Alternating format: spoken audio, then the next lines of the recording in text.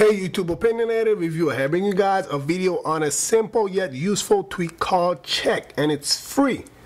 You guys can see what I just did there. I just highlighted a number of emails and I could go ahead and move them, delete them, or just mark them as read, just like that. Simple as that. Let's do that again. Just go ahead and hit my edit button, touch and hold until you see it start blinking, and then you just go ahead and you touch down to the bottom and it simply highlights all of them within that row. So I'm gonna go ahead and do it again, and then I just touch up top and you see so I can do touch and hold until it starts to blink and anything within that row. So if I would touch and hold this, and I go ahead and I touch this one, you can see it only deselects the one that are between. So it's kind of like when you touch um shift on your keyboard when you highlight this you touch shift and then you highlight the one at the bottom that's basically what it does it's super simple and yet super useful because you know you normally have to select these one by one and that sucks but yeah that's basically it it's called check and it's free yes free inside wow what repo is this um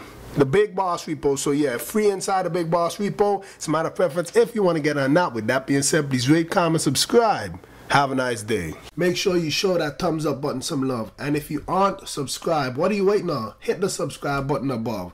Like my Facebook fan page and follow me on Twitter. I answer questions a lot faster on Twitter than I do on YouTube. Oh yeah, and check out my previous video if you haven't already.